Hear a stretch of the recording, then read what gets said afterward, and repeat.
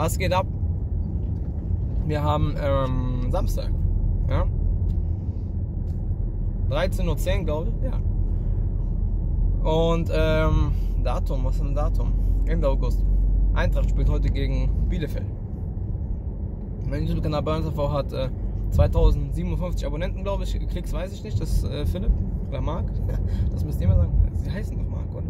Äh, jedenfalls, ähm, es war nicht geplant, dass ich jetzt ein Video mache. Aber ich bin gerade hier von da nach da losgefahren und habe kurz acht Minuten oder sowas. Ja? Das werden wir jetzt machen.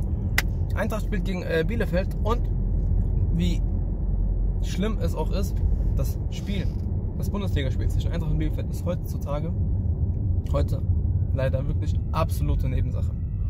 Denn ähm, was da gerade bei Eintracht Frankfurt passiert, ist fürchterlich. Was soll das? Mach deine Sirene aus. Ja, man, hat, man sieht dich, Kollege. Ganz einfach gestört hier, ja. Kein Respekt.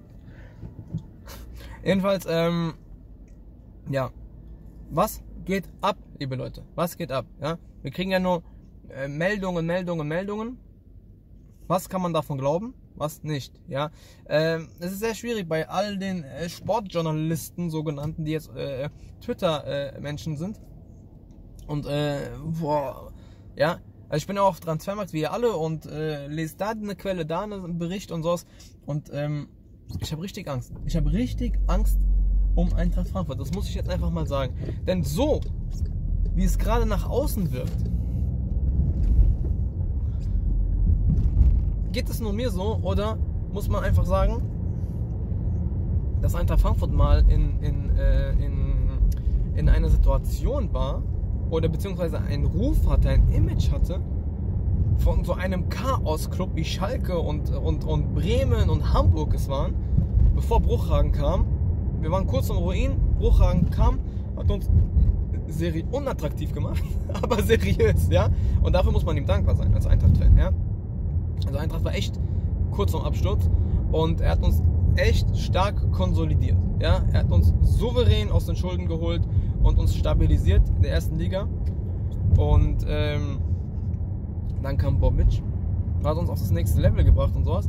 Und aber in beiden Amtszeiten wurde Eintracht Frankfurt absolut seriös geführt. Keine Skandale nach außen hin, keine Probleme, äh, keine schlechte Presse, eigentlich nur gute Presse mit den Fans im Rücken, die Europa, äh, Eintracht Frankfurt weltweit äh, bekannt gemacht haben durch ihre Performance in der Europa League und sowas.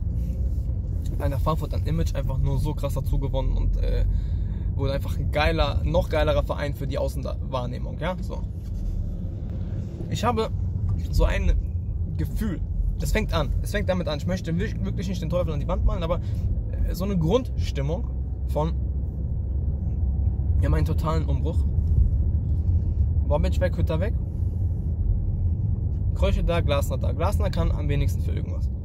Ähm, denn ich muss einfach sagen, sorry, wirklich sorry möchte niemanden zu nahe treten, aber dass Glasner ein guter Trainer ist, hat er in Wolfsburg bewiesen, meiner Meinung nach. In Österreich hat er auch gut gearbeitet. Ja, äh, wenn du Glasner äh, das gibst, was er braucht zum Arbeiten, und damit meine ich jetzt nicht teure Einkäufe, einfach die Strukturen, ein Team und sowas, wird er das schon gut machen, ja? Bei Krösche weiß ich nicht. Ich finde, Ich weiß es nicht. Aber er wirkt leider nicht sehr glücklich in seiner Position aktuell, ja?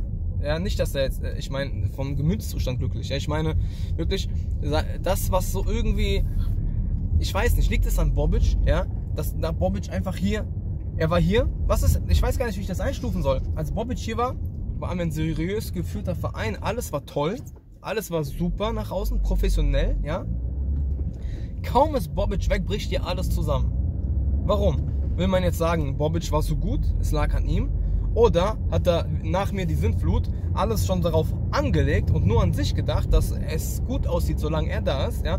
Aber sollte es nicht auch irgendwie in der Verantwortung eines Managers liegen, wenn man einen Verein übergibt an seinen Nachfolger, dass der Verein weiterhin solide arbeiten kann, ja. Weil so wie es mittlerweile rüberkommt, ist, dass ähm, ja, Krösche, dem waren wohl die Hände gebunden bei, bei dem äh, Silver Deal. Äh, und äh, anscheinend hat Bobic auch äh, Yunus versprochen, äh, dass da irgendwie mehr Geld fließen wird, anscheinend. Ja, Bobic ist aber weg. Yunus war unglücklich. Anscheinend hat Bobic auch äh, äh, äh, Kostic versprochen, dass was weiß ich, was er ihm da versprochen hat, ja. Wenn du solche Sachen versprichst und mit dem Wissen du wechselst und selbst wenn du spontan wechseln solltest, ist ein absolutes Chaos vorprogrammiert. Denn du kannst den Spielern nicht mal böse sein. Wenn die, äh, ist ja dann, wenn es wirklich so ist, kannst du ja nicht mal äh, dem böse sein, weil die einfach nur ihr gutes Recht einfordern, was ihnen von ihrem Chef versprochen wurde. Dass man das nicht schriftlich festhält oder wie auch immer. Ja, eine mündliche Zusage zählt in Deutschland auch, aber ja, Beweis ist sehr schwierig. Nichtsdestotrotz, dass dann Spieler bockig, bockig werden, ja, gut, kann man verstehen. Ja, möchte ich jetzt nicht verteidigen oder sowas, ja, aber ähm, dass dann Spieler äh, den Wechsel forcieren mö möchten, so ja wie, äh, dachte er, wie Blitzer, äh, wie Yunus oder sowas. Und jetzt auch Kostic. Was passiert hier eigentlich, ja? Ich möchte auch, aber auch sagen, äh, das mit, mit, mit, mit Krüche, das, er wirkt so unglücklich in der Rolle, ja? Ich weiß nicht, ist er überfordert oder was? Weil das, was ich bis jetzt lese und mitbekomme, ich berufe mich nur auf diese Medienquellen, ja? Ich weiß nicht, ob, wie das jetzt alles da zusammenhängt, aber ähm, also ich weiß, also ich weiß nicht, nicht, nicht zusammenhängt. Ich meine, ich weiß nicht, wie, äh, wie viel davon stimmt und was nicht und sowas. Aber wenn ich lese, dass man einen Yunus für 4 Millionen, das habe ich ja schon angesprochen, nach Saudi-Arabien abgeben äh, möchte. Wenn ich, wenn ich schon lese, dass man einen, dass ein Zuba anscheinend eine super EM gespielt hat, aufgrund dessen Angebote kriegt und man hört Namen wie, man weiß natürlich nicht, inwiefern das stimmt, von den russischen Teams und englischen Teams und sonstigen Teams. Und dann, ähm, das am wahrscheinlichsten ist, dass er wohl nach Griechenland wechselt, was jetzt natürlich jetzt nicht die, die nichts gegen Griechenland und den griechischen Fußball, aber es ist ja wohl äh, Fakt, dass es da bessere Adressen gibt, wenn du als äh, äh, Sportler, Leistungssportler, Fußball äh, da noch was reißen möchtest in deiner Karriere, ja. Ähm, und selbst dann war das so ein Deal, wo die Ne, einen kleinen Betrag zahlen und nur eine Laie mit einer Kaufoption. Was bringt dir das? Du brauchst Geld. Du musst Geld generieren, um, um dich selbst zu verstärken, weil dein Kader offensichtlich noch nicht fertig ist. Also komplett augenscheinlich, das sieht jeder, dass dein Kader selbst noch nicht fertig ist. Dir fehlt ein Stürmer, dir fehlt ein zentraler Mittelfeldspieler. Am besten was in der Verteidigung und rechts außen und was weiß ich, ja. Und mit Kostic, ja, was weiß ich was dann, ja. So, ähm, wie kannst du dann wenn es denn so stimmen sollte, wie kannst du dann einen Deal abschließen für einen Zuber, der ja anscheinend Angebote hatte, wenn alles stimmt, so was man berichtet hat, falls es stimmt, ja. Für, was war das? Eine Million, zwei Millionen auszuleihen und die haben eine Kaufoption, am Ende ziehen die nicht und du bleibst wieder auf dem Spieler sitzen? Wer braucht es? Ja, also solche Deals, man hat echt das Gefühl, dass Eintracht Frankfurt über Wert einkauft und unter Wert verkauft. Aber deutlich unter Wert, ja. Und das ganze Theater jetzt, sorry, ich, ich komme gar nicht zum Spiel, merke ich gerade, ja. Äh, machen wir es mal kurz, ja. Eintracht Frankfurt gegen Bielefeld, natürlich ist es im Normalfall ein Selbstläufer, dass Eintracht Frankfurt das gewinnen muss. Eintracht Frankfurt äh, hatte, war auf dem Weg der Besserung. Man hat deutliche Ansätze einer Steigerung äh, erlebt, dass, dass, die Spielidee von Glasner greift. Langsam, aber sicher. Ähm, man hat sehr gute Kombinationen gesehen von unseren Neuzugängen. Langsam lernt sich die Mannschaft kennen. Und äh, ich bin der festen Meinung, wenn alles glatt gelaufen wäre, wenn alles, wenn es kein Problem im Hintergrund gegeben hätte oder geben würde, dann ähm, bringt Eintracht Frankfurt das sicher nach Hause. Ja? 3-0. Ja? Und äh, wie wir spielen sollten, ist gerade völlig egal. Ja, weil kostet jetzt diese ganze Thematik, also was ist das überhaupt, ja? Es ist doch unglaublich, was da gerade passiert, dass, ähm, wie hat sich das denn hochgeschaukelt? Ja, ich, ich, ich bin sprachlos, ihr merkt es, das war jetzt kein geplantes Video, aber ich äh, verfolge das äh, krasser als, als äh, den Bitcoin-Kurs, ja, teilweise. Ich wurde gefragt, ob ich noch in Kryptos bin. Natürlich bin ich noch in Kryptos, Jungs. Jungs, ja. Natürlich. Also, jedenfalls, ähm, Kostic fühlt sich wohl in Frankfurt, bla bla, wurde immer gesagt. Krösche sagt, ja, Glasner sagt, er glaubt, er bleibt. Krösche sagt, er fühlt sich hier wohl. Es gibt kein konkretes Angebot für ihn. Irgendwelche Mittelsmänner äh, sind an Eintracht Frankfurt herangetreten, haben da irgendwas. Mit Kostic wäre man sich schon einig. Er verdient da wohl. Ich habe jetzt irgendeinen Artikel gelesen, ich weiß gar nicht, wo Hessische Rundfunk, äh, Hessische, Rund, äh, Hessische Rundfunk oder so, äh, irgendwelche Details zum Deal oder so. Er würde, ich habe es nicht ganz verstanden, ich habe es überflogen. Was steht da? Er verdient dopp, er würde doppelt so viel verdienen wie bei der Eintracht. Am Ende stand da nur irgendwas mit 2 Millionen und mehr. Ich weiß, ich habe es nicht gecheckt, aber er würde auf jeden Fall deutlich mehr verdienen als bei der Eintracht. Und bei Lazio Rom, ja. Aber die bieten nur 9 Millionen, 10 Millionen. Was? Irgend, irgend so ein, ein, eine, eine Beleidigung bieten die da? Wirklich eine Beleidigung, was offensichtlich ein, so ein, ein, ins Gesicht spucken ist. Wirklich, ja. Wenn die ihn haben wollten, ja. Und es, was, es hat auch irgendeiner bei Transfermarkt geschrieben, was, wo ich sage, ey, Digga, du hast recht, ja. Es hat ja niemand gesagt, du darfst nicht wechseln. Ja? Es hat doch niemand gesagt, du hast irgendeine Zusage von Bobic, dass du wechseln darfst? Super. Du hast bestimmt nicht die, äh, die, die, die Zusage, weil wenn das so ist, wenn das so ist, dann ähm, müsste man nochmal ein ernstes äh, Wörtchen reden mit dem Knochenbrechen mit äh, dass, dass, dass er ihm die Zusage gegeben hat, für, für, äh, für, für Kleingeld zu wechseln. Ja? Er hat anscheinend, also man hat niemand, niemand hat gesagt, du darfst nicht wechseln.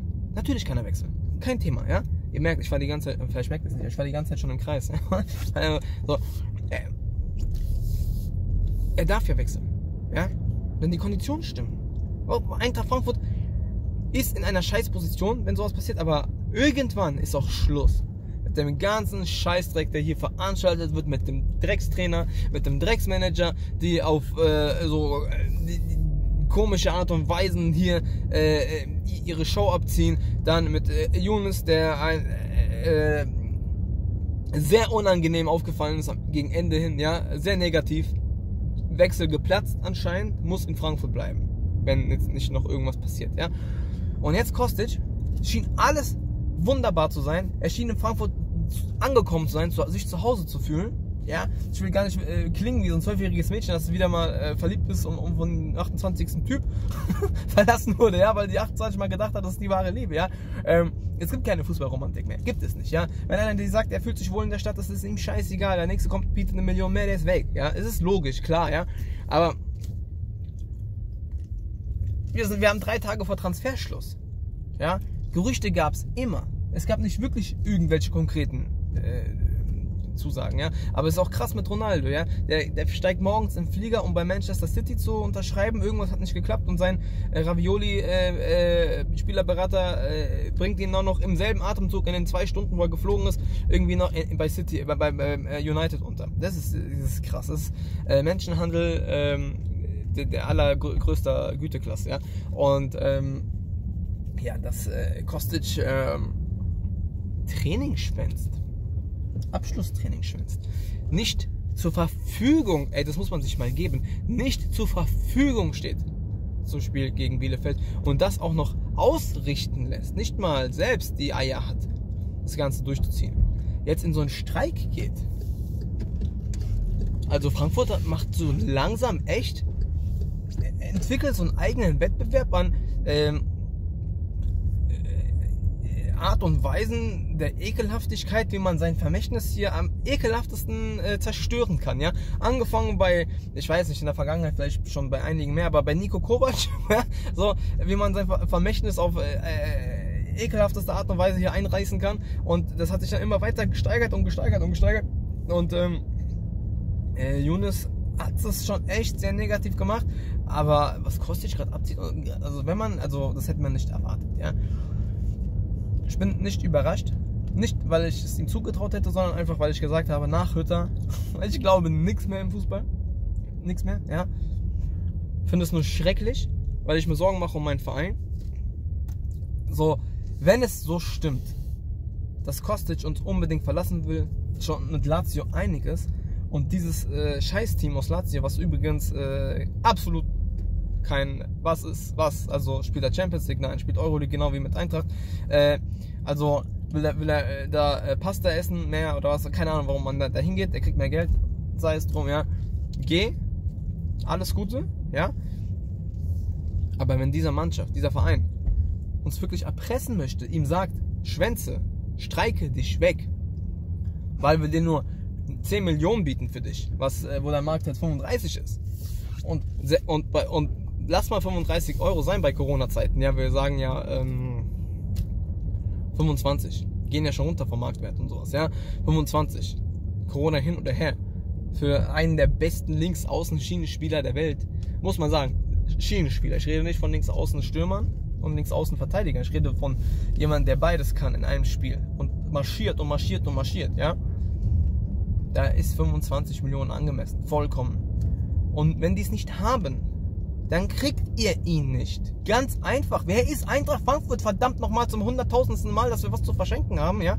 Ähm, wer sind wir? Der Weihnachtsmann oder was? Ja? Sind, unsere Farben sind zwar, in unseren Farben sind rot und weiß, ja? Aber wir sind nicht der Weihnachtsmann, verdammte Scheiße. was, was passiert hier? Was, was, was denken die, ja? Wir sind der Nikolaus? Schenken irgendwas? Schon äh, früh weihnachtlich, ja? Ähm, das gibt es nicht, ja? Was passiert hier? Eintracht Frankfurt muss einfach sagen, ey, wir wollen mindestens 25 Millionen, am besten noch mit irgendwelchen Bonis, ja. Von mir aus macht 20 Millionen mit, äh, mit, mit, mit irgendwelchen Bonis. Von mir aus. Ja, die aber so Bonis, die du dann sicher reinkriegst, vielleicht im nächsten Jahr. Ja, sowas. Aber hol dir safe dein Geld jetzt. Und mach auch keine Leihscheiße, dass die eine Kaufpflicht haben in einem Jahr. Was, wer weiß, was dann mit denen ist. Ob die das zahlen können, wollen. Mit West Ham haben wir ja gesehen, wie diese ganze Scheiße funktioniert, was übrigens auch so ein Bobbit-Stil war. Ähm, ja, ähm, hol dir das Geld jetzt. Ja, das meiste. Investier es in deine Mannschaft und fertig. Er will gehen, dann sollen die zahlen. Ja, wir haben nichts zu verschenken. Und wenn er nicht will, und wenn der streikt, und wenn sein Scheiß und wenn sein scheiß Berater und wer auch immer ihm noch irgendwelche Scheiße in den Kopf setzt, also Yunus, wenn er dann hier bleiben sollte jetzt, wird es schon schwer haben, sich zu rehabilitieren.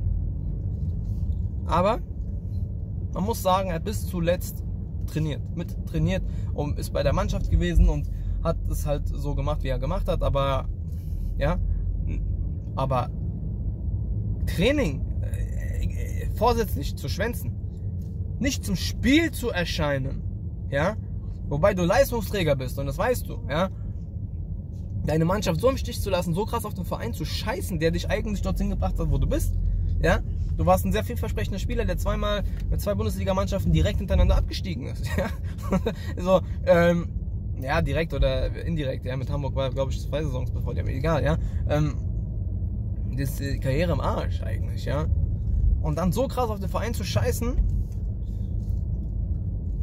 also, also, da muss man eigentlich sagen, wenn ich irgendwas zu sagen hätte in diesem Verein, was ich ja auch habe, aber das ist geheim, das darf ich euch nicht erzählen, ja. Ich sag hier, ich würde dich noch nicht mal auf die Tribüne setzen. Ich würde sagen, bleib einfach nur zu Hause. Bleib einfach nur zu Hause, ja. Du spielst nicht, ja. Und ich würde, das hat auch irgendeiner geschrieben, das fand ich geil. Ich würde Strafen, ich würde Strafen etablieren. Pro gestreikten Tag eiskalt. Wenn du nicht offiziell krank gemeldet bist, diese kennt diese ganzen Tricks mit diese Krankschreibungen und sowas. Wenn das nicht offiziell so ist, dann ähm, gibt es äh, Strafen. Das heißt, du bist beim neuen Arbeitgeber, du hast dich weggestreikt, du hast das irgendwie geschafft, du bist dort angekommen, darfst aber pro gestreikten Tag ein Spiel oder was weiß ich, äh, paar Spiele nicht spielen oder sowas. Boah, das das wäre gut. Das wäre eine gute Sache, sage ich euch. Und ähm,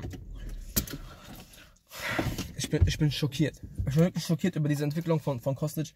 Und ähm, ja, das geht so nicht. Das geht einfach nicht, liebe Leute. Und ähm, würde ihn eiskalt auf die. Äh, Eintracht Frankfurt darf nicht klein beigeben. Sorry. Ja, wir haben ja nichts zu verschenken, wir sind auch kein Clownsverein, ja. Und da habe ich das Gefühl, ich weiß es nicht, aber bei, bei Krösche, ich habe noch nicht so das Gefühl, dass er, dass er so ein harter Typ ist, der verhandeln kann. Du musst kein harter Typ sein, ja, aber du musst einfach konsequent sein, ja. Du musst, das ist immer besser, wenn du ein Schlitzohr bist, ja, wenn du weißt, wie du irgendwie das kriegst, was du brauchst und willst für, für dich und für den Verein, ja. Das war Bobic, zumindest für sich. Und der Verein hat schon davon profitiert, muss man schon sagen, ja. Aber jetzt äh, kommt einiges raus, wo du denkst, okay, der hat äh, Schlitz auch nur für sich gemacht, ja. Und ähm, ich war, äh, Krösche, der Markus macht für mich noch nicht so einen Eindruck, als wäre das Schlitzohr überhaupt, ja. Weil, so, ich weiß nicht. Ja, also könnt gerne eure Meinung dazu nennen, aber ähm, Eintracht Frankfurt darf sich da jetzt nicht also äh, verarschen lassen. Ja, da muss, der muss jetzt einfach ähm, gesagt werden, Lazio, ihr zahlt 25 Millionen plus aufwärts. Und zwar jetzt. Ohne Kaufoption. Ist mir scheißegal, was für Kaufoption nächstes Jahr. Wir brauchen jetzt Geld, um in die Mannschaft noch schnell kurzfristig zu investieren. Oder das wird nichts, ja. Und dann, was, äh, scheiß mir jetzt auf Kostic. Ich bin so enttäuscht einfach nur jetzt meine ganze Situation. Ich habe einfach nur Angst, dass Eintracht Frankfurt zusammenbricht heute, ja. Ich glaube schon an einen Sieg, aber diese ganze Situation mit Yunus und Kostic ist weg auf einmal. Und er war ja schon Leader im Team. Also sprich schon so, das war ja der Star.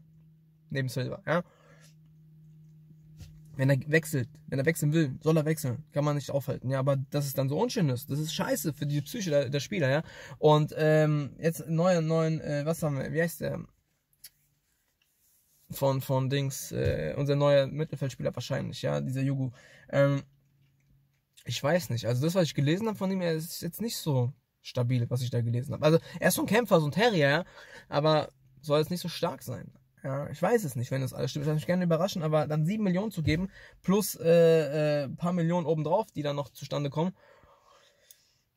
Ey, da will ich echt nichts Falsches sagen, weil ich kenne ihn nicht, aber das, was ich gelesen habe von Leuten, die ihn angeblich kennen und die ihn gut beschrieben haben, also die haben ihn beschrieben, ob das wirklich zutrifft, muss man sehen.